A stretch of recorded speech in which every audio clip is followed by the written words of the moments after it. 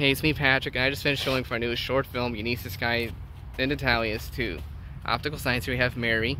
She plays Hi. Natalia, and then we have Tanya. She plays Eunice.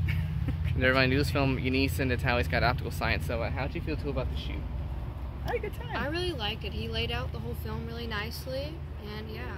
Awesome. yeah, and, and he's like he's great to work with. Very like you can tell very considerate of his actors and just of people in general. And we had a lot of fun. We laughed a lot, and that Mhm. always makes it more fun. That's right.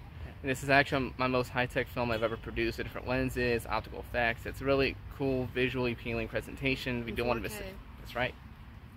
Is there anything you want to tell the fans about the project? Anything you want them to know or tell them without telling them? Um, I really like how you made it film based but also educational at the same time. It doesn't feel forced like any of the facts. It was like it was really fun. Right. Awesome. And I love that it's uh, you know like Gainesville, Ocala based, and Right. it, we're building yeah local. We're building the local uh, acting community, which is great. Yeah. That was one thing I wanted for the project is like a local film collaboration. We succeeded today. Yeah. And don't forget to watch this on on Instagram, Vimeo and Film Freeway. I think we're just wrap this video. We want to thank the audience for watching. Peace.